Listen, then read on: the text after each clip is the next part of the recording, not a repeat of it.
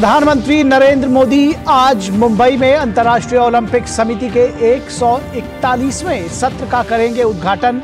खेलों से संबंधित हितधारकों के बीच बातचीत और ज्ञान साझा करने का अवसर करेगा प्रदान ये सत्र। लोकसभा अध्यक्ष ओम बिरला ने जी ट्वेंटी संसदीय अध्यक्षों के शिखर सम्मेलन पी ट्वेंटी के समापन सत्र का में लिया भाग कहा, सभी वैश्विक चुनौतियों को व्यापक परिप्रेक्ष्य में देखने की ज़रूरत। पी में आए सदस्यों ने अंतर्राष्ट्रीय व्यापार को बढ़ावा देने और सप्लाई चेन में लचीलापन लाने की आवश्यकता का भी किया उल्लेख। भाजपा ने कांग्रेस पर लगाए झूठी राजनीति करने के आरोप। कहा कि जो वायदे करते हैं, उन्हें नहीं करते पूरा और कांग्रेस के पास जनता के लिए नहीं है कोई विजन।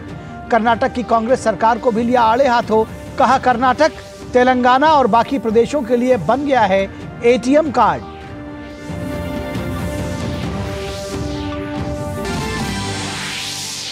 ऑपरेशन अजय के तहत स्वदेश लौट रहे भारतीयों ने की पीएम मोदी की प्रशंसा, कहा, पीएम मोदी का यह कदम लोगों के प्रति उनकी जवाबदेही को है दर्शाता। ऑपरेशन अजय के तहत इसराइल से 235 भारतीय नागरिकों को लेकर दूसरा जत्था पहुँचा स्वदेश। कल पहले जत्थे में लौटे थे 212 भारतीय। इजरायली सेना ने कहा बड़ी संख्या में उत्तरी गजा से दक्षिणी गजा की ओर हुआ लोगों का पलायन। संयुक्त राष्ट्र ने कहा इसराइल की घोषणा से पहले ही चार लाख लोग हुए हैं विस्थापित। इसराइल हमास युद्ध में अब तक 3,200 से ज़्यादा लोगों की मौत।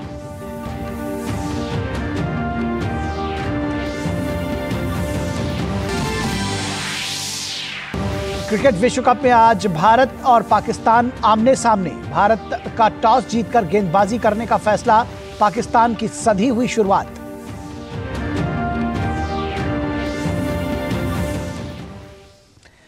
नमस्कार, स्वागत है आपका डीडी न्यूज़ के इस बुलेटिन में। मैं हूँ निखिल सिंह और आइए देखते हैं खबरों को अब विस्तार से।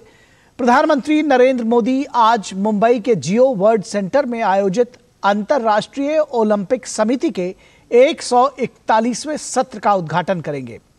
आईओसी का सत्र अंतर्राष्ट्रीय ओलंपिक समिति के सदस्यों की एक महत्वपूर्ण बैठक होती है। आईओसी के सत्र में ओलंपिक खेलों के भविष्य से संबंधित महत्वपूर्ण निर्णय लिए जाते हैं। भारत दूसरी बार और लगभग 40 वर्षों के अंतराल के बाद आईओसी के सत्र की मेजबानी कर रहा है।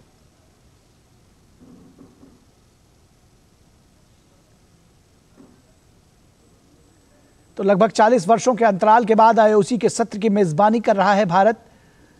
आईओसी का छियासीवां सत्र उन्नीस सौ तिरासी में नई दिल्ली में आयोजित किया गया था। सत्र वैश्विक सहयोग को बढ़ावा देने, खेलों में उत्कृष्टता का उत्सव मनाने का प्रतीक है। खेल जगत की प्रमुख हस्तियाँ, विभिन्न खेल महासंघों के प्रतिनिधि भी इस 141वें सत्र में भाग लेंगे। और खेलों से संबंधित विभिन्न हितधारकों के बीच बातचीत और ज्ञान साझा करने का यह सत्र अवसर प्रदान करेगा।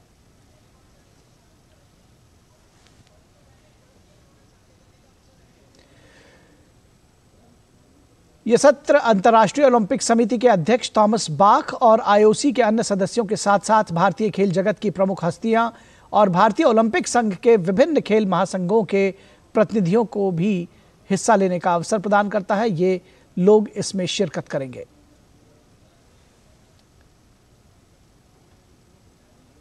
और प्रधानमंत्री नरेंद्र मोदी आज अंतर्राष्ट्रीय ओलंपिक समिति के 141वें सत्र का शुभारंभ करेंगे। इस पर केंद्रीय सूचना और प्रसारण मंत्री और खेल मंत्री अनुराग सिंह ठाकुर ने बताया कि किस तरह भारत सरकार ने खेल में अपने कदम आगे बढ़ाए हैं और इसमें अन्य खेल संस्थाओं की भी दिलचस्पी बढ़ रही है। भारत में आने वाले पदकों की बढ़ती संख्या भारत के खेल में उज्जवल भविष्य को दर्शाती है और क्रिकेट जैसे खेलों का ओलंपिक्स में शामिल होना नई उम्मीदों को जगाता है। इंटरनेशनल ओलंपिक कमेटी का सेशन भारत में मुंबई में हो रहा है और आज शाम को देश के यशस्वी प्रधानमंत्री नरेंद्र मोदी जी भी आईओसी के सेशन में आएँगे। 141 सेशन है। और मैं यही कहना चाहता हूँ, जो भारत के बढ़ते कदम खेलों में हैं। और भारत सरकार का जिस तरह से खेलों के प्रति योगदान रहा है, खेलों के जगत में बहुत तेज़ी के साथ इंफ्रास्ट्रक्चर बना रहे हैं मेडल्स की टैली बढ़ रही है, और भारत नई ऊंचाइयों पर जाने के लिए नए आयोजन के लिए भी तैयार दिखता है। भारत और श्रीलंका के बीच आज हाई स्पीड नौवहन सेवा का शुभारंभ हुआ। पोत परिवहन और जलमार्ग मंत्री सर्बानंद सोनोवाल ने तमिलनाडु के नागपट्टिनम बंदरगाह पर और विदेश मंत्री एस जयशंकर और श्रीलंका के पोत परिवहन मंत्री ने वीडियो कॉन्फ्रेंसिंग के माध्यम से नागपट्टिनम और श्रीलंका के कांके संतुरई के बीच अंतर्राष्ट्रीय नौवहन सेवा को हरी झंडी दिखाई। इस सेवा के शुरू होने के बाद लगभग 150 लोग इसमें 150 लोग एक बार में आ जा सकेंगे। टिकट की कीमत छः हज़ार पाँच सौ और सात हज़ार छः सौ सत्तर रुपये प्रति व्यक्ति है। और श्रीलंका के जाफना तक पहुँचने में इसमें तीन घंटे लगेंगे। इस सेवा से तमिलनाडु में नागापट्टिनम और श्रीलंका में कांके संतुरई के बीच प्राचीन समुद्री मार्ग संभावित रूप से पुनर्जीवित होगा और दोनों देशों में धार्मिक पर्यटन और व्यापार को बढ़ावा मिलेगा। और इस कार्यक्रम के दौरान अपने वीडियो संबोधन में श्रीलंका के राष्ट्रपति रानिल विक्रम सिंघे ने कहा कि उत्तरी श्रीलंका में संघर्ष के कारण भारत के साथ नौवहन संपर्क टूट गया था और अब इसे फिर से बहाल किया जा रहा है। Connectivity between our two countries disrupted due to the in the north now peace and we can reestablish the sea connectivity. I discussed this matter with Prime Minister Modi and I must thank him and the Indian Shipping Corporation for the role they have played in re-establishing this connectivity. इस मौके पर केंद्रीय पत्तन पोत परिवहन और जलमार्ग मंत्री सर्बानंद सोनोवाल ने कहा कि भारत और श्रीलंका के सांस्कृतिक संबंधों का एक लंबा इतिहास रहा है। साथ ही उन्होंने कहा कि भारत और श्रीलंका के बीच नौवहन सेवा, इन्हीं संबंधों का उदाहरण है। India and Sri Lanka have a long and rich history of cultural ferry service between India and Sri Lanka is a reflection of the same. Ferry services have traditionally been an important source of connectivity between the two countries, thereby facilitating movement of people, trade and goods for centuries. प्रधानमंत्री नरेंद्र मोदी ने video conferencing के ज़रिए दोनों देशों के लोगों को बधाई दी पीएम ने कहा कि नागपट्टनम और कांके संतुरई के बीच नौवहन सेवा का शुभारंभ दोनों देशों के संबंधों को और मज़बूत करने में मील का पत्थर साबित होगा। The launch of a ferry service between Nagapattinam and Kankesanthurai is an important milestone stone in strengthening our relations. Friends, India and Sri Lanka share a deep history of culture, commerce, and civilization. और PM ने कहा कि भारत और श्रीलंका के बीच समृद्ध इतिहास रहा है। इस सेवा से दोनों देशों के बीच कनेक्टिविटी और व्यापार को बढ़ावा मिलेगा। During the recent visit of president Wickremesinghe we jointly adopted a vision document for our economic partnership connectivity is the central theme of this partnership.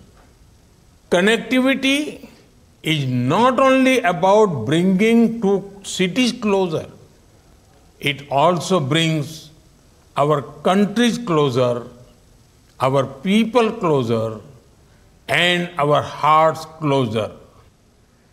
Lok Sabha अध्यक्ष ओम बिरला ने आज पी ट्वेंटी की अध्यक्षता ब्राज़ील की संसद को सौंप दी दिल्ली में नवे जी ट्वेंटी संसदीय अध्यक्षों का शिखर सम्मेलन पी ट्वेंटी के सफलतापूर्वक समापन के बाद बिरला ने ब्राज़ील के चैम्बर ऑफ़ डिप्यूटीज के अध्यक्ष Arthur Cesar Pereira de Lira को अध्यक्षता सौंपी। पी ट्वेंटी शिखर सम्मेलन के समापन सत्र में लोकसभा अध्यक्ष ओम बिरला ने कहा कि यह बहुत गर्व की बात है कि सभी सांसदों ने पी ट्वेंटी शिखर सम्मेलन के दौरान संयुक्त वक्तव्य को अपनाया, जो सांसदों की आम प्रतिबद्धता को दर्शाता है। बिरला ने कहा कि इस दो दिवसीय सम्मेलन में वर्तमान वैश्विक चुनौतियों पर चर्चा की गई। उन्होंने कहा कि महत्वपूर्ण है कि संसद इन समस्याओं के समाधान के लिए भविष्य के रोड मैप पर कैसे काम करेंगी।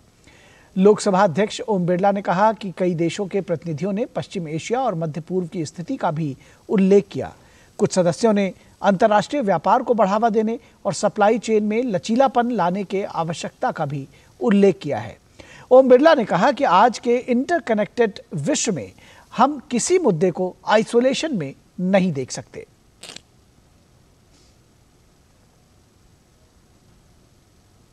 हम संघर्षों और विवादों के शांतिपूर्ण समाधान का समर्थन करते हुए अंतर्राष्ट्रीय शांति, समृद्धि और सद्भाव को बढ़ावा देने के लिए उत्प्रेरक रूप में प्रासंगिक मंचों पर संसदीय राजनय और परस्पर संवाद जारी रखेंगे। हम आने वाले समय में अपने पूर्ण एजेंडा और अपनी साझी प्रतिबद्धताओं को पी ट्वेंटी जी ट्वेंटी और उससे भी आगे बढ़ने के संकल्प को पुनः दोहराते हैं। उपराष्ट्रपति और राज्यसभा के सभापति जगदीप धनखड़ ने भी पी ट्वेंटी शिखर सम्मेलन के प्रतिनिधियों के सम्मान में दोपहर के भोजन की मेजबानी की। भारत ने जी ट्वेंटी अध्यक्षता के व्यापक ढांचे के तहत दो दिवसीय शिखर सम्मेलन की मेजबानी की। भारत की जी ट्वेंटी अध्यक्षता की थीम के अनुरूप पी ट्वेंटी शिखर सम्मेलन का विषय एक पृथ्वी, एक परिवार और एक भविष्य के लिए संसद है।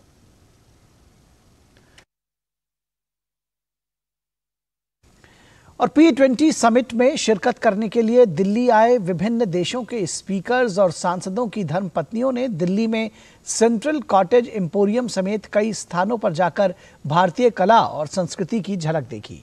तो वहीं भारतीय परिधानों को पहनकर भारतीय रंग में रंगने की कोशिश भी की। इस मौके पर इटली की संसद चैम्बर ऑफ़ डिप्टी के स्पीकर की धर्मपत्नी इमिलिया रोमानो ने डीडी न्यूज़ के साथ विशेष बातचीत में भारतीय परिधान साड़ी पहनने पर बेहद खुशी जताई।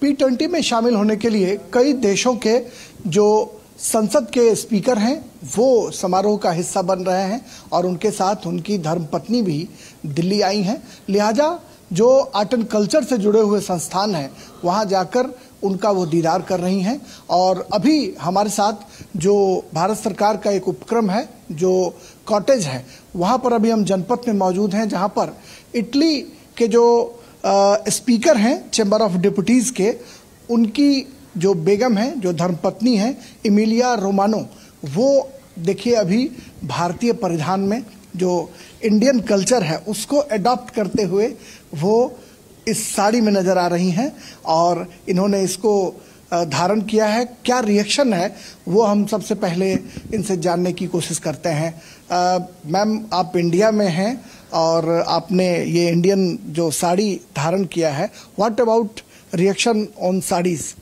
I think it's very precious, and I feel like a princess in this wonderful dress. Thank you. Namaste. Uh, what about uh, uh, India's visit? It's a wonderful country. I'm very happy to be here, and you are all so friendly with us. Thank you so much. what is the reaction about modern art and culture? We visited a museum this morning. It was very interesting, full of culture, full of thoughts, and full of beautiful art. Congratulations. Thank you देखिए जो दुनिया भर के मुल्क से जो लोग यहाँ पर आते हैं हिंदुस्तान, यहाँ की जो संस्कृति है, उसको कहीं ना कहीं अडॉप्ट करने की कोशिश ज़रूर करते हैं और इसका जीता जागता उदाहरण हमारे सामने है कि देखिए इंडियन जो साड़ी है, उसको पहने बिना एक विदेश से आई हुई जो महिला हैं, वो चूक नहीं रही हैं और हिंदुस्तान की जो संस्कृति है, उसको इससे बखूबी समझा जा सकता है। कैमरामैन अजीत के साथ राजेश राज डी न्यूज़ दिल्ली। और इसके बाद बात करेंगे भ्रष्टाचार से जुड़े हुए कुछ मामलों की बात होगी कर्नाटक की लेकिन रुकेंगे एक छोटे से ब्रेक के लिए। कहीं मत जाइएगा जल्द हाजिर होंगे। Think IIT think Vidya Mandir think IIT think Vidya Mandir think IIT माँ ये खीर किसके लिए? आज तेरे दादाजी का जन्मदिन है उनके लिए। तो मैं दादाजी को क्या दूँ? अपना मोबाइल फ़ोन देना। ये क्या कर रही है? दादाजी के लिए आयुष्मान कार्ड बना रही हूँ। घर बैठे? हाँ। आयुष्मान ऐप पर जाकर अपना या परिवार के सदस्य का नाम लाभार्थी सूची में ढूंढे। आधार ओटीपी या फेस ऑथ द्वारा ऑथेंटिकेट करें। डिटेल्स भरें अब मोबाइल से फ़ोटो खींचकर अपलोड करें। दादाजी ये लीजिए अपना आयुष्मान कार्ड। ये उपहार तो जीवन भर काम आएगा। और एक प्रकार से पीएम जय अब गरीबों की जय बन गई है। पाँच लाख तक के मुफ़्त उपचार की गारंटी स्वास्थ्य का वरदान आयुष्मान।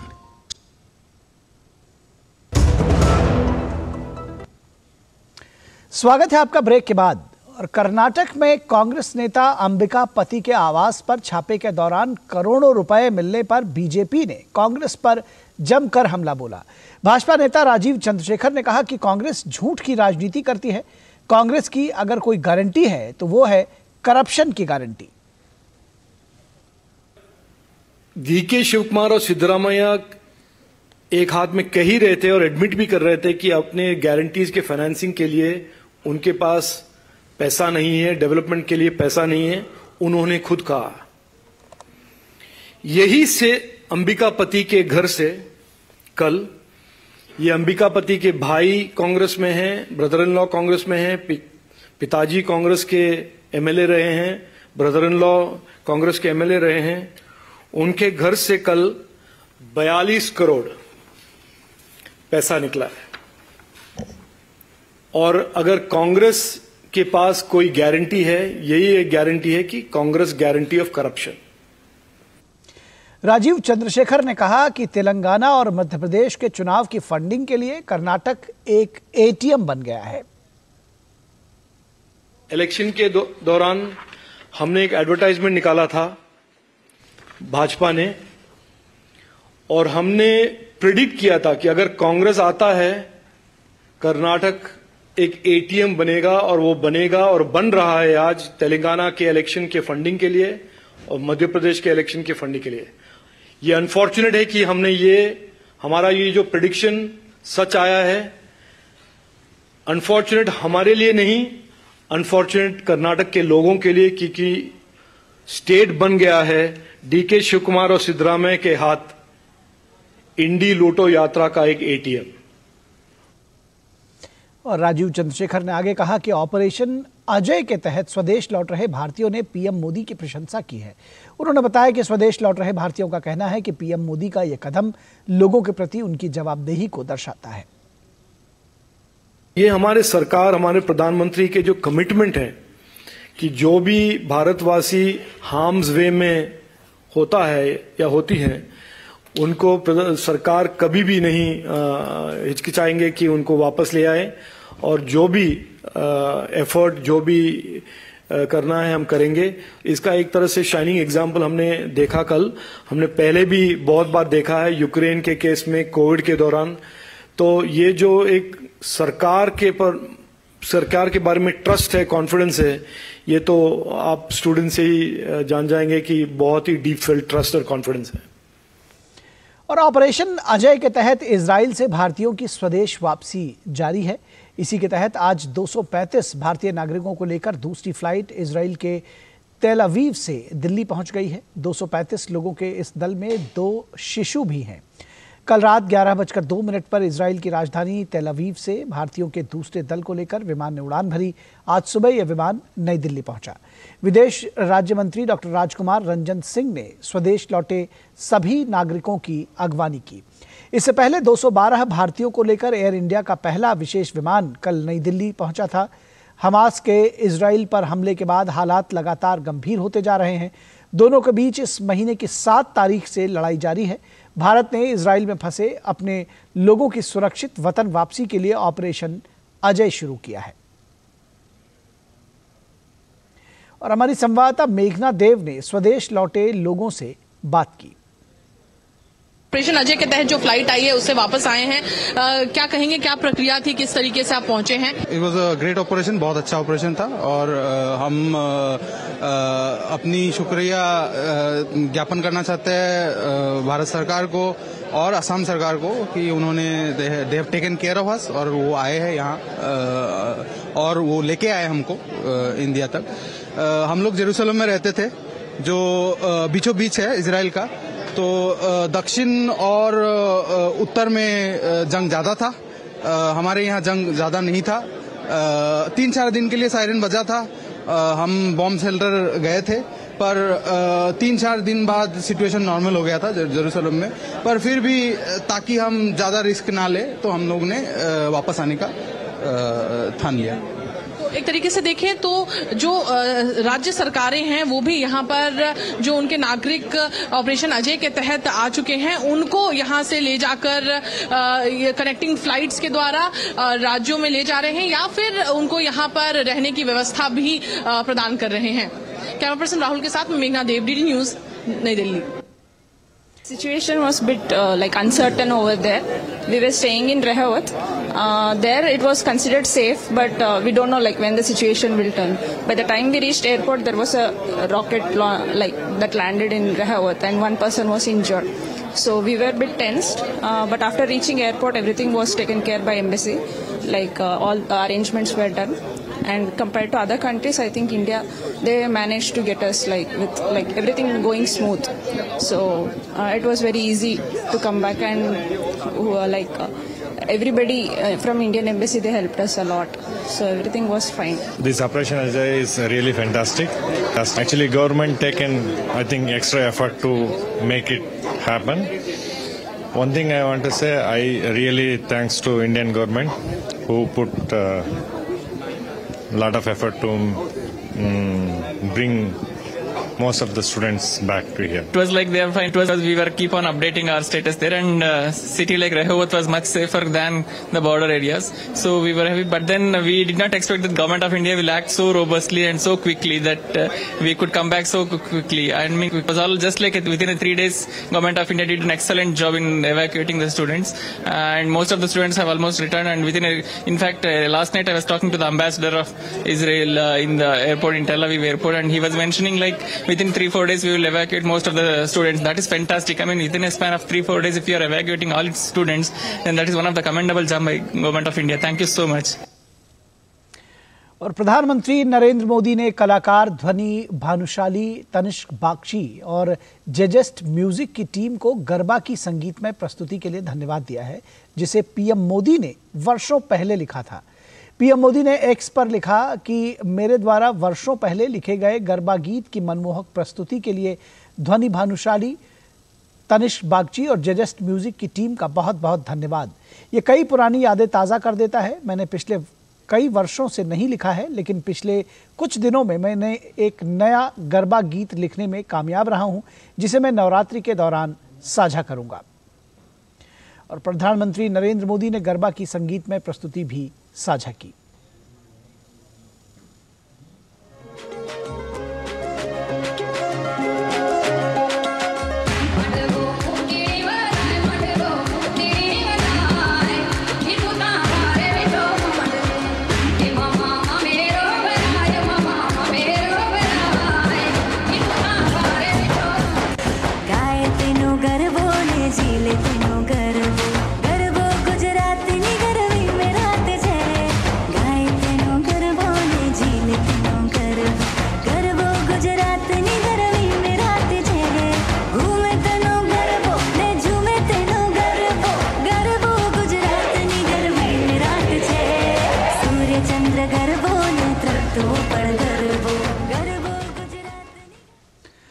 और दिल्ली के मिनी बंगाल के तौर पर कहे जाने वाले सीआर पार्क में दुर्गा पूजा को लेकर तैयारियाँ जोरों पर हैं। इस साल पंडाल की थीम बिहार के मुंडेश्वरी मंदिर पर रखी गई है। कलाकार दिन रात मेहनत कर रहे हैं ताकि लोग दुर्गा पूजा का आनंद ले सके। देखिए ये विशेष रिपोर्ट। राजधानी दिल्ली के चित्रंजन पार्क में दुर्गा पूजा को लेकर तैयारियाँ जोरों से चल रही है। कल से शारदीय नवरात्रि की शुरुआत हो रही है और दिल्ली के मिनी बंगाल के तौर पर प्रसिद्ध सीआर पार्क में भव्य पंडाल बनाने की तैयारी जारी है। सीआर पार्क का पूजा पंडाल हर साल अपने आप में प्रसिद्धि बटोरता है। हर वर्ष की तरह इस बार भी काली मंदिर में अष्टमी और नवमी के दिन संगीत समारोह का भी आयोजन किया जाएगा। ये हमारा 48 पूजा है मैम, और ये प्रॉब्लम नॉर्थ इंडिया का सबसे बड़ा पूजा है। हमारा मेन जो इम्फोसिस होता है, वो होता है आपका भोग में। हम करीब 12 से पंद्रह हज़ार लोगों को डेली भोग खिलाते हैं। बाकी कल्चरल प्रोग्राम होता है शाम को। सुबह पूजा होता है, पुष्पांजलि होती है और शाम को अंजलि वगैरह होता है। और करीब करीब डेढ़ लाख से पौने दो लाख फुटफॉल होता है डेली हमारे यहाँ पर। डेढ़ महीना हो गया, चालीस से पैंतालीस लोग कंटिन्यू रात दिन काम कर रहे हैं कि समय पर पूरा अपना पूजा पंडाल तैयार करके दे सकें। इस बार सीआर पार्क इलाके में पंडाल की थीम, बिहार के मुंडेश्वरी मंदिर पर रखी गई है। कलाकार यहाँ दिन रात मेहनत कर रहे हैं। कोई बाँस से फ्रेम बना रहा है, कोई रंग बिरंगे कपड़े लगा रहा है तो कोई फोम पर डिज़ाइन कर रहा है। पंडाल के परिसर को फूलों के डिज़ाइन से और झूमर से सजाया गया है। दुर्गा माँ, गणेश, शेर महिषासुर की मूर्ति को स्थापित करने के लिए परिसर में खास जगह दी गई है। लोगों की सहायता के लिए पंडाल में सीसीटीवी और पुलिस कंट्रोल रूम भी बनाया गया है। साथ ही खाने पीने के लिए फ़ूड स्टॉल्स भी लगाए गए हैं। इस मेला में सारी सुविधाएँ उपलब्ध होती हैं। भगवान की मूर्ति लगती है, शाम में वंदना होती है। नौ दिन पहले से जो है हम लोग पूजा पाठ की भी अर्चना स्टार्ट कर देते हैं। कला स्थापन अभी स्टार्ट होने वाला है। शारदीय नवरात्रि की शुरुआत होने ही वाली है और आपने देखा कि दिल्ली का मिनी कोलकाता कहे जाने वाले चित्रंजन पार्क में दुर्गा पूजा को लेकर किस तरह से तैयारियाँ चल रही हैं? राजधानी दिल्ली में आने वाले 10 दिनों में इसकी धूम रहेगी। उम्मीद है कि यह दुर्गा पूजा लोगों के जीवन में खुशहाली लेकर आएगा। कैमरा पर्सन योगेश के साथ मैं पूर्वा, डीडी न्यूज़, दिल्ली। और केंद्रीय गृह मंत्री अमित शाह गुजरात के दौरे पर हैं। अमित शाह के लोकसभा क्षेत्र गांधीनगर में आंगनवाड़ी बच्चों के लिए एक मनोरंजन यात्रा का आयोजन किया गया। यहाँ गृह मंत्री अमित शाह ने बच्चों के साथ कुछ वक्त बिताया। और बात भारतीय रेल की। माल ढुलाई कम समय में और सुगम तरीके से हो, इसके लिए भारतीय रेल ने पूर्वी डेडिकेटेड फ्रेट कॉरिडोर का निर्माण 100 फ़ीसदी पूरा कर लिया है और ये पंजाब के लुधियाना से बिहार के सोनगर तक तकरीबन एक हज़ार तीन सौ सैंतीस रेल रूट किलोमीटर लंबी है। देखिए ये रिपोर्ट। भारतीय रेल ने रचा इतिहास। सोननगर से पंजाब के लुधियाना तक 1337 किलोमीटर पूर्वी डेडिकेटेड फ्रेट कॉरिडोर बनकर तैयार। तकरीबन इक्यावन हज़ार करोड़ की लागत से तैयार ईडीएफसी से पावर हाउसों को कोयले की आपूर्ति जल्दी मिलेगी। आज बड़ी खुशी की बात है कि ईस्टर्न कॉरिडोर जो तेरह किलोमीटर लंबा है, उसका कार्य पूरा हो चुका है। यह ईस्टर्न कॉरिडोर बिहार के सोननगर से प्रारंभ होता है। डीडीयू इलाहाबाद, कानपुर, इटावा, टूंडला होते हुए दादरी दिल्ली तक आता है और फिर आगे लुधियाना तक जाता है। ये रूट देखा जाए तो हमारे कोल मूवमेंट के लिए बहुत महत्वपूर्ण रूट है। इसके अलावा इस पर fertilizer food grain steel cement और अन्य चीज़ों का भी मूवमेंट होता है। पूर्वी डेडिकेटेड ट्रेड कॉरिडोर पर रोज़ाना 140 मालगाड़ियाँ चलेंगी जिसमें 70 फ़ीसद मालगाड़ियाँ कोयले की हैं, जिसका सीधा फ़ायदा पंजाब हरियाणा यूपी और दिल्ली के पावर प्लांटों को होगा। इस कॉरिडोर पर सामान्य ट्रैक से दुगनी स्पीड यानी तकरीबन 50 से 75 किलोमीटर प्रति घंटे की रफ्तार से मालगाड़ियाँ चलेंगी। सबसे बड़ी बात की यात्री गाड़ियों की ट्रैक से मालगाड़ियाँ कम हो जाएँगी जिससे यात्री गाड़ियों की पंक्चुअलिटी बढ़ेगी और दुरुस्त होंगी। कि जो मालगाड़ी एग्जिस्टिंग इंडियन रेलवे रूट पे चलती थी, वो डीएफसी पे आ गई है। इससे एग्जिस्टिंग रूट्स में पैसेंजर ट्रेनों की पंक्चुअलिटी इंप्रूव होगी और साथ ही उसके अंदर नई ट्रेनों को चलाने के लिए लाइन कैपेसिटी में गुंजाइश मिलेगी।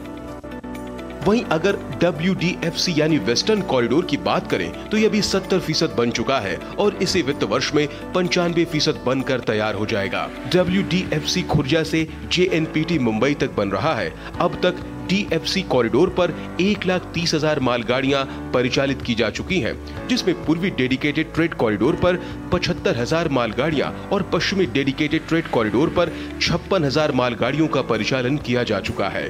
Abhishek Singh DD news Delhi. और बिहार में नवरात्रि के दौरान शिक्षकों के प्रशिक्षण का मुद्दा गर्मा गया है। केंद्रीय मंत्री गिरिराज सिंह ने बिहार सरकार पर हमला बोलते हुए इसे हिंदुओं पर हमला बताया है।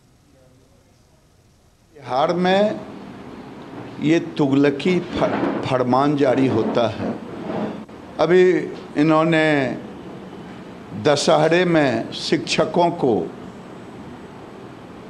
आवासीय प्रशिक्षण का लगा दिया नवरात्र में। ये हिंदुओं पे पढ़ार है।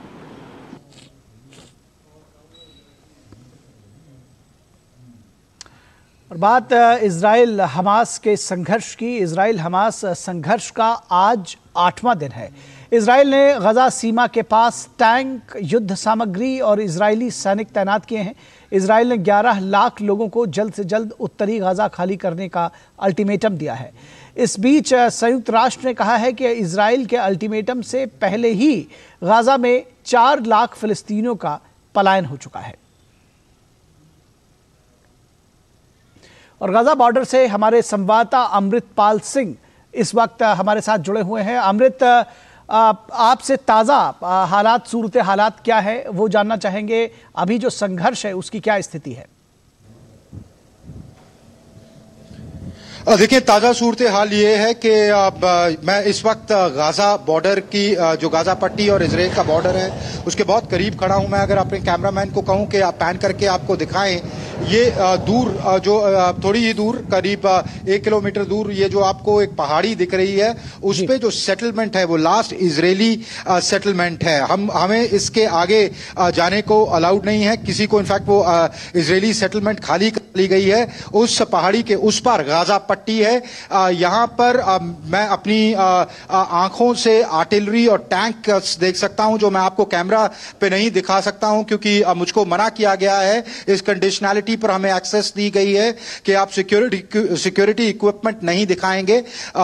इसराइली आर्मी लगातार यहाँ से आर्टिलरी फायर कर रही है दूसरी तरफ़। अगर आपको आवाज़ आ रही हो मेरे पीछे, ये आर्टिलरी फायर की आवाज़ है जो इसराइली आर्मी फायर कर रही है। टैंक्स बड़ी संख्या में, बड़ी संख्या में निखिल यहाँ अमैस कर लिए गए हैं। यह कहा जा रहा है कि इसराइल तैयारी कर रहा है एक ग्राउंड असॉल्ट की, एक ग्राउंड जमीनी हमले की।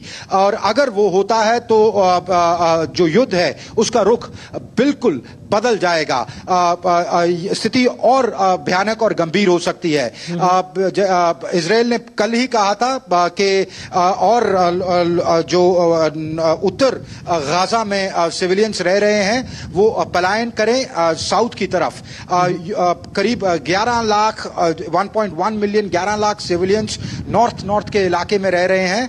तो अगर वो पलायन करते हैं तो उसके कॉन्सिक्वेंसेज आप जानते हैं। यूएन ने तो कहा है it will have devastated devastating consequences भयानक परिणाम होंगे उसके। क्योंकि अभी भी सीज जो इन्होंने इम्पोज की है गाजा ने पानी की बिजली की इंटरनेट की खाने की उससे ह्यूमैनिटेरियन क्राइसिस वहाँ और गंभीर हो रहा है। पर इसराइल को यहाँ पर जो सेंटिमेंट ये है कि इन पर इनकी सॉवरेनिटी इनकी टेरिटोरियल इंटेग्रिटी पे एक टेररिस्ट अटैक हुआ है और उसका ये जवाब देंगे और जैसे प्रधानमंत्री यहाँ के प्रधानमंत्री बेंजामिन बेनमिन नेतन्याहू ने कहा था that we'll will reduce them to rubble उनको मिट्टी में मिला देंगे। तो हमास की बात करते हुए तो ये ये कह रहे हैं कि जो भी ये स्ट्राइक्स कर रहे हैं वो हमास के बेसिस पे कर रहे हैं। उनके जो मिलिट्री बेसिस हैं उस पर कर रहे हैं। वही हमास और फिलिस्तीनियों का कहना है कि सिविलियंस को टारगेट किया जा रहा है। अब।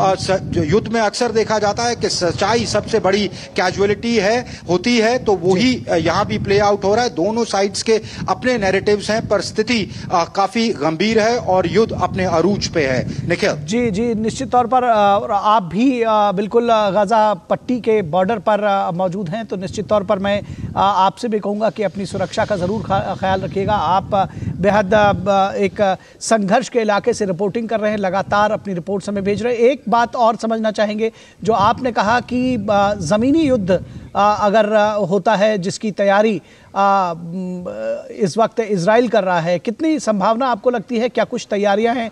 क्या आपको लग रहा है?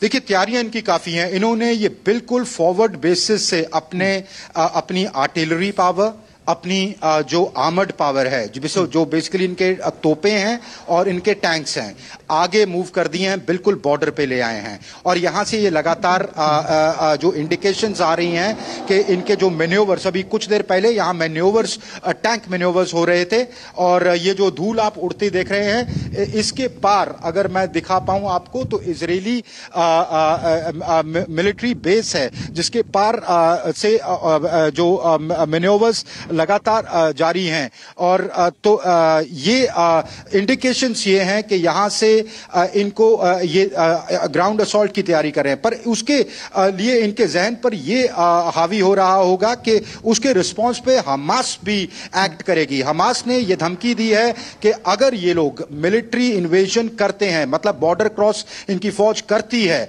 तो वहाँ वो उनके पास जो लोग बंदी हैं, इनके इसराइली सिविलियंस भी, फौजी भी और सिविलियंस में बच्चे, महिलाएँ भी हैं, वो उनको एक एक करके मारना शुरू कर देंगे। अगर ऐसा होता है तो बीबी नेतन्याहू की सरकार पे बेनमिन नेतन्याहू की सरकार पर प्रेशर और बढ़ जाएगा कि वो अपनी एक के एक्ट करें और डिसाइसिवली उनको डेसिमेट करें।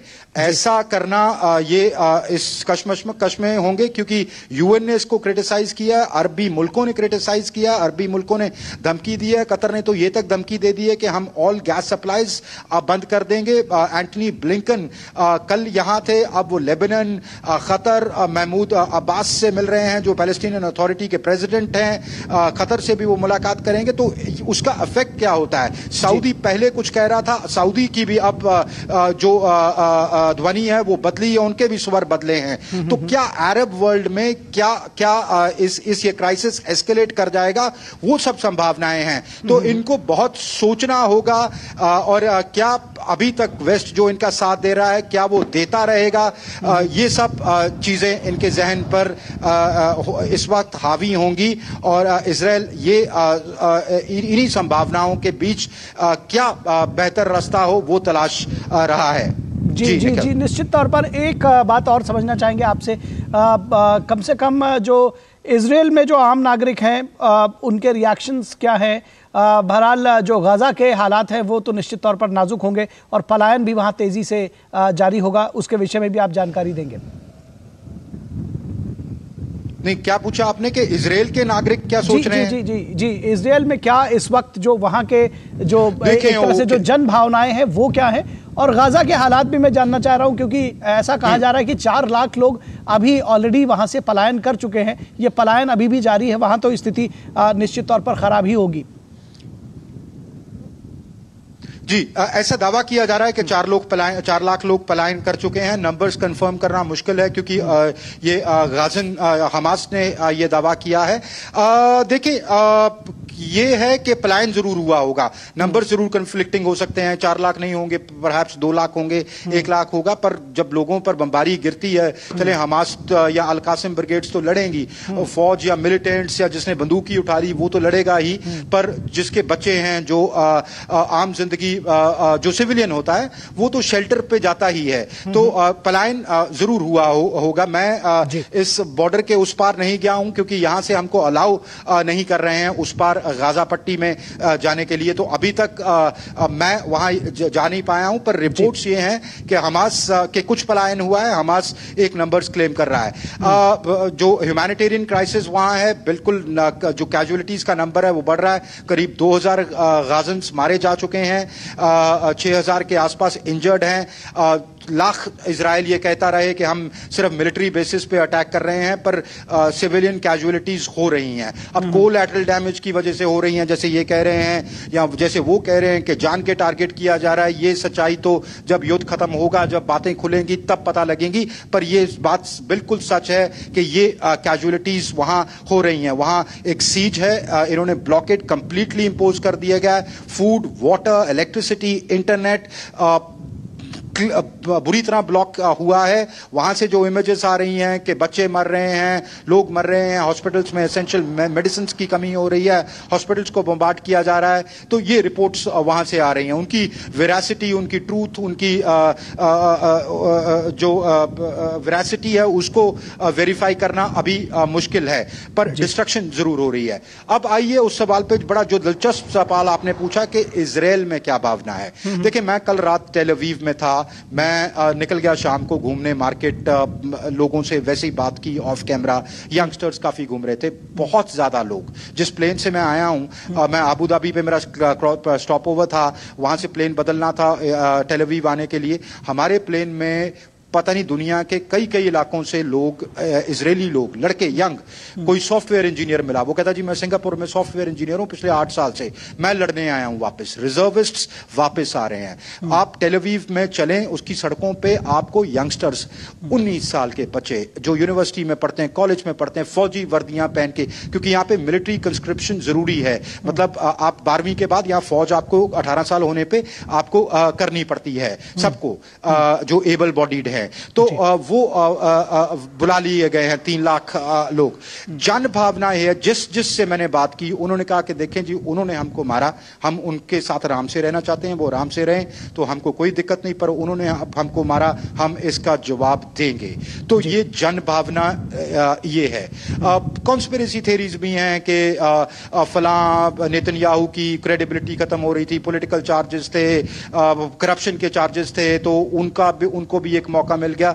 वो सब बात की बातें हैं, वो कहते हैं। मैंने कहा कि आपके उन्होंने पाँच हज़ार रॉकेट्स फायर कर दिए। आपकी सरकार को, आपकी इंटेलिजेंस जो इतनी मशहूर है, उसको पता ही नहीं लगा। कहते ये सवाल बिल्कुल है, पर अस्ब ये वक्त है लड़ने का, हमास को खत्म करने का। ये सवाल हम बाद में अपने आप इनसे उलझ लेंगे या इनसे जूझ लेंगे, पर इस वक्त जो सेंटिमेंट है, जो जन भावना है, वो एंगर की है, वो ट्रॉमा की है, और वो लोग उस एक तरह के बदले की भावना भावना है कि हमास को आ, कम से कम के वो कहते हैं पैलेस्टीनियन से हमारा कोई इतलाफ नहीं। वो जो एरियाज़ में हैं वहाँ रहें। सरकार क्या करती है क्या नहीं करती उनके लिए हम नहीं बोलते पर मिलिटरी जवाब बिल्कुल ठीक है। जी अमृतपाल अभी थोड़ी देर पहले आप हमको बता भी रहे थे हम वर्ल्ड पॉलिटिक्स जो है वो आपके ज़रिए थोड़ा आसान शब्दों में समझना चाहते हैं। ईरान के स्टेटमेंट्स आ रहे हैं। आपने बताया कतर के स्टेटमेंट्स आ रहे हैं। यूएस का अपना रुख है वेस्ट का अपना रुख है।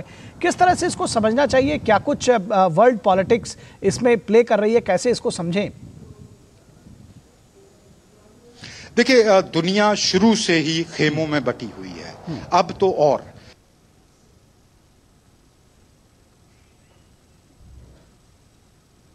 लगता है अमृतपाल से की का ऑडियो वीडियो जो है वो बेहतर तरीके से नहीं मिल पा रहा है। कनेक्टिविटी की प्रॉब्लम है और हम अमृतपाल से दोबारा संपर्क करने की कोशिश करेंगे, लेकिन अमृतपाल बार बार हमको उन्होंने ये बताया ये जानकारी दी कि वहाँ की जो स्थिति है, वो निश्चित तौर पर नाजुक बनी हुई है, क्योंकि संघर्ष का जो जो इलाका है, वो जो संघर्ष है, वो लगातार जारी है पूरे इलाके में और इसराइल की तरफ़ से जो ज़मीनी युद्ध है, उसकी तैयारी की जा रही है और अगर ज़मीनी युद्ध हुआ तो निश्चित तौर पर इसके परिणाम और भी भयावह हो सकते हैं। अमृतपाल ने यह भी बताया कि हमारे साथ जो इसराइल के, जब वो उन्होंने कहा कि जब वो इसराइल गए तो वहाँ पर जो जनभावनाएँ हैं, वो इस तरह से हैं कि लोग जो हमास के ख़िलाफ़, जो हमास ने हमला किया था, उसके ख़िलाफ़ उनके अंदर बहुत गुस्सा है और लोग इस बात की तैयारी कर रहे हैं कि मुँह तोड़ जवाब दिया जाना ज़रूरी है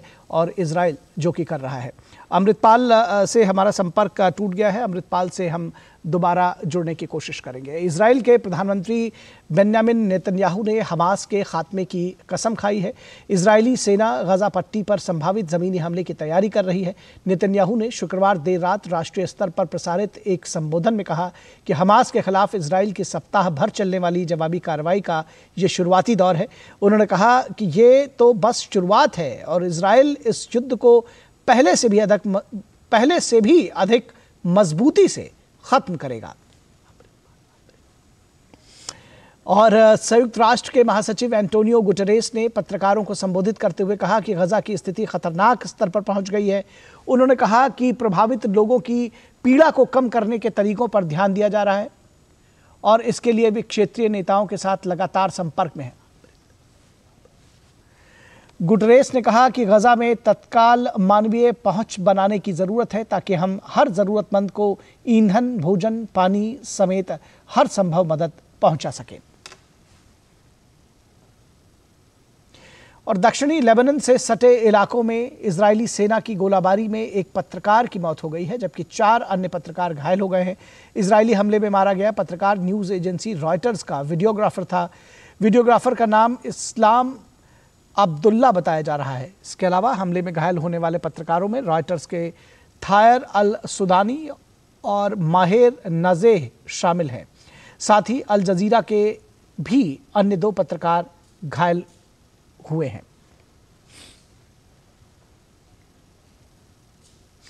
और कुछ अन्य खबरों का रुख कर लेते हैं। केंद्रीय मंत्री पुरुषोत्तम रूपाला आंध्र प्रदेश के कृष्णपट्टम बंदरगाह पहुँचे। इस मौके पर मत्स्य पालन मंत्री सादिरी अप्पला राजू, कृषि मंत्री काकानी, गोवर्धन रेड्डी समेत भाजपा के कई वरिष्ठ नेता उपस्थित रहे। कृष्णपट्टिनम बंदरगाह में पुरुषोत्तम रूपाला मछुआरों के साथ बातचीत करेंगे।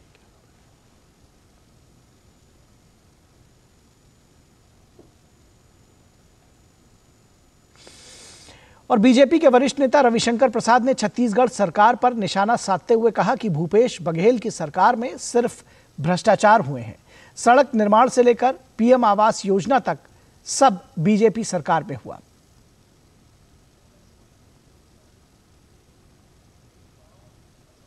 घोटाला कम था कि आप चले आए शराब घोटाले पर। या शराब घोटाला कम था क्या तो फिर आपने नियुक्ति में भी घोटाला कर दिया। अब आप गोईठान में भी चलेगा साहब। कहीं तो छोड़ेंगे आप। कहीं तो छोड़ेंगे। ये बिल्कुल एटीएम की पराकाष्ठा है। ये मुझे बहुत और दूसरी बात कि छत्तीसगढ़ में क्या है?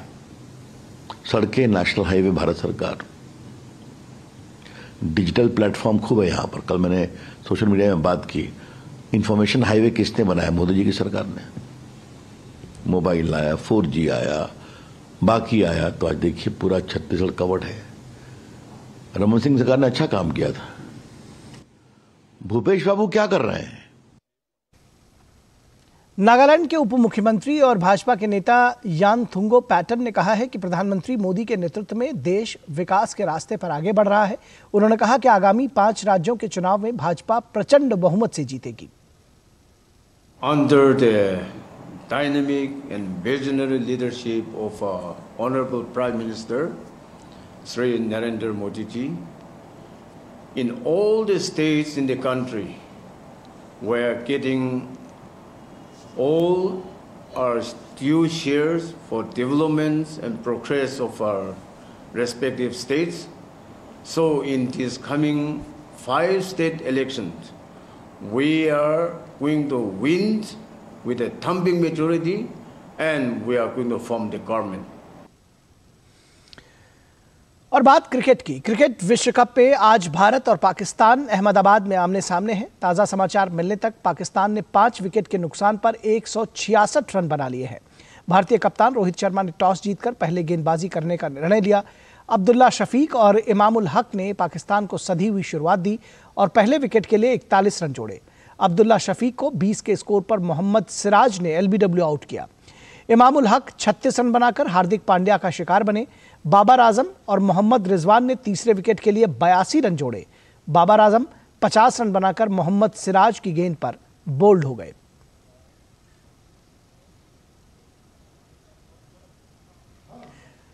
तो बेहद महत्वपूर्ण मैच है और पाकिस्तान का ताज़ा समाचार मिलने तक सातवां विकेट गिर गया है। आईसीसी क्रिकेट विश्व कप में आज भारत, पनाम, पाकिस्तान का महत्वपूर्ण और जो जिस मुकाबले पर सभी की निगाहें रहती हैं, भारत और पाकिस्तान, वो मुकाबला चल रहा है और पाकिस्तान का ताज़ा समाचार मिलने तक सातवां विकेट गिर गया है। सात विकेट पाकिस्तान ने खो दिए हैं और भारत ने टॉस जीता था, पहले गेंदबाजी करने का निर्णय लिया इस पिच को देखते हुए और 171 रन अब तक पाकिस्तान ने बना लिए हैं। तो 171 रन पर सात विकेट गिर गए हैं, जिस तरह से बाबर आज़म के साथ में जो तीसरे विकेट का पार्टनरशिप था, जो बयासी रन तक का था। वो बेहद ख़तरनाक लग रही थी वो पारी। और लेकिन 50 रन के स्कोर पर आउट किया। हमारे साथ में हमारे संवाददाता नारायण इस वक्त जुड़े हुए हैं और ज़्यादा अपडेट के साथ में। नारायण, जो शुरुआत थी पाकिस्तान की, वो सधी हुई थी, जो तीसरे विकेट का पार्टनरशिप बाबर आज़म के साथ में चल रहा था, वो भी बड़ी ख़तरनाक लग रही थी। लेकिन अभी स्थिति ऐसा लगता है कि एक बार फिर जो है, ट्विस्ट एंड टर्न के साथ में बढ़ रहा है मैच। जी बिल्कुल, एक शानदार शुरुआत की थी पाकिस्तान ने इस, एक बड़े मैच में और लग रहा था कि स्कोर काफ़ी आगे जाएगा। अगर देखिए 155 के रन पे उनके खाली तीन विकेट का, लेकिन जैसे ही बाबर आज़म का विकेट गिरा, उसके बाद जो भारतीय गेंदबाजों ने एक शानदार वापसी की और उसके बाद लगातार उनके विकेट गिर रहे हैं तो एक कह सकते हैं कि बेहतरीन वापसी की भारतीय गेंदबाजों ने यहाँ पर। और जो एक स्टार्टिंग में एक फ्लैट विकेट लग रहा था कि, लग रहा था कि रन आसानी से बनेंगे, उस पर यहाँ पर लगाम लगाई और जिस तरह से कुलदीप यादव। और जिस तरह से बुमराह ने विकेट लिया रिजवान का, वो काबिल तारीफ़ है। और टर्निंग पॉइंट वही रहा जो बाबर आज़म का विकेट लिया। हमारे तेज गेंदबाजों ने उसकी तारीफ़ करनी होगी, क्योंकि उस समय तक ऐसा लग रहा था कि ये स्मूथली मैच चला जाएगा और जिस तरह से पाकिस्तानी जो बल्लेबाज बैटिंग कर रहे हैं, एक अच्छा खासा स्कोर जाएगा 300 के करीब जाने को ऐसा लग रहा था कि स्कोर जाएगा, लेकिन जो सिराज ने विकेट लिया बाबर आज़म की, उसके बाद ऐसा एक फ्लड गेट से खुल गए और वो संभाल नहीं पाए अपने को पाकिस्तानी बैट्समैन और यहाँ पर शानदार प्रदर्शन रहा भारतीय गेंदबाजों का और अब ऐसा लग रहा है कि जल्दी ही पाकिस्तानी टीम निपट जाएगी और आसानी से एक मैच को अपने कंट्रोल कंट्रोल में लाए भारतीय गेंदबाज यहाँ पर। जी, सात जो मैचेस अभी तक वर्ल्ड कप पे भारत और पाकिस्तान ने खेले हैं, हर बार जीत भारतीयों की रही है। आज आपको क्या उम्मीद है? भारतीय बल्लेबाजी क्रम की बात अब होगी क्योंकि सात विकेट गिर गए हैं। तो उम्मीद की जा रही है कि जल्द ही भारतीय बल्लेबाजी का नंबर आएगा। किस तरह से देखते हैं? शुभमन गिल की वापसी हुई है। किस तरह से देखते हैं भारतीय बल्लेबाजी क्रम को?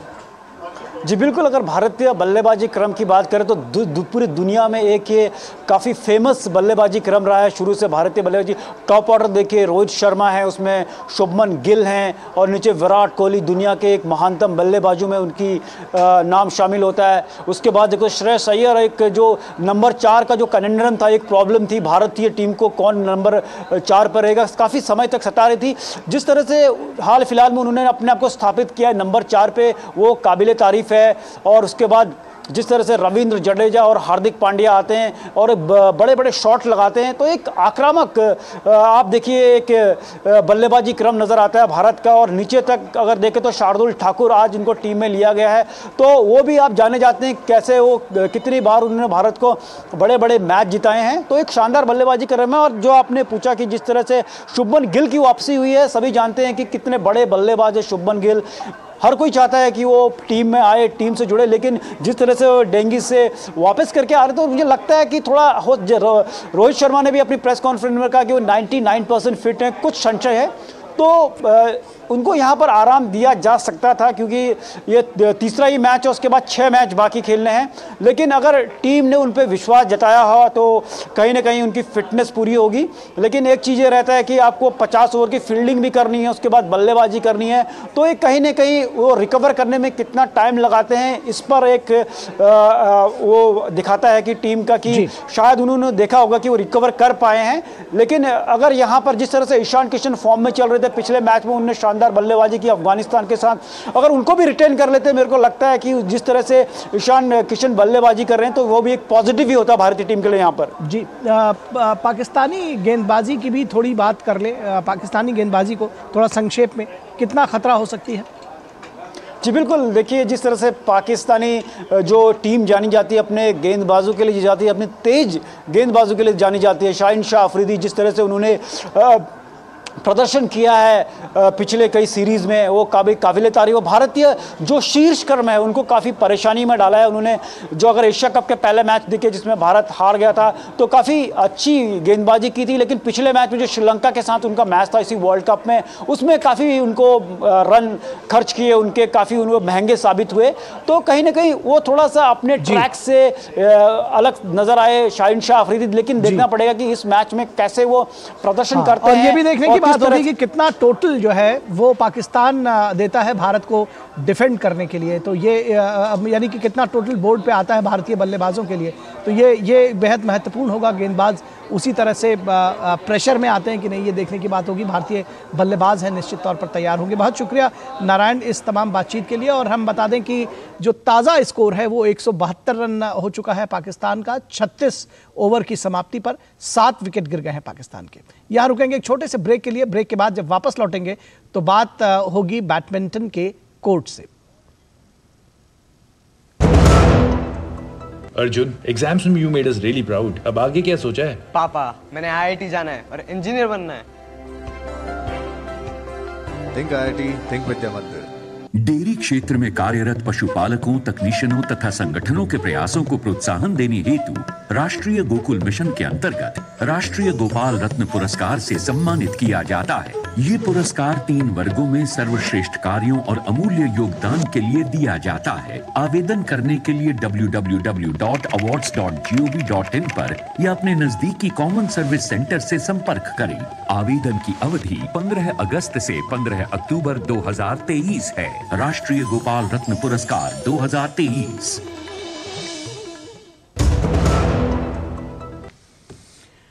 स्वागत है आपका ब्रेक के बाद और भारतीय badminton star PV Sindhu Arctic open badminton प्रतियोगिता में आज सेमीफाइनल मुकाबला खेलने के लिए उतरेंगी। सिंधु का सेमीफाइनल में सामना चीन की वांग जी यी से होगा। सिंधु ने इससे पहले शुक्रवार को क्वार्टर फाइनल मुकाबले में वियतनाम की थ्यू लिन गुएन को 20 22 22 20 और 21 18 से शिकस्त दी। इस सुपर 500 इवेंट के नतीजे पेरिस 2024 ओलंपिक के लिए क्वालिफाइंग रैंकिंग में गिने जाएँगे। और बेल्जियम ने ऑस्ट्रिया को तीन दो से हराकर यूरो 2024 के लिए क्वालिफाई कर लिया है। बेल्जियम की ओर से रोमुलू लुकाकू ने गोल किए। लुकाकू आठ गोल के साथ यूरो क्वालिफाइंग में टॉप स्कोरर के तौर पर सामने है। ऑस्ट्रिया की टीम की बात करें तो टीम को अब सोमवार को अजरबैजान के खिलाफ मुकाबला खेलना, जीतना होगा। अगर टीम यूरो 2024 के लिए क्वालिफाई करना चाहती है तो उसे अजरबैजान के खिलाफ जो मुकाबला है, बेहद महत्वपूर्ण है, उसमें जीत दर्ज करनी होगी। वहीं पुर्तगाल ने स्लोवाकिया को हराकर यूरो 2024 के लिए क्वालिफाई कर लिया है और पुर्तगाल की ओर से क्रिस्टियानो रोनाल्डो ने दो गोल किए। पुर्तगाल के की ओर से गोल करने के मामले में क्रिस्टियानो रोनाल्डो ने अपनी संख्या को 125 पहुँचा दिया है। रोनाल्डो ने ये 125 गोल 202 मैचेस में किए हैं। स्लोवाकिया की टीम इस हार के बाद भी दूसरे स्थान पर ही मौजूद है। तो इस समाचार बुलेटिन में बस इतना ही। हमारी पूरी टीम को दीजिए इजाज़त। नमस्कार।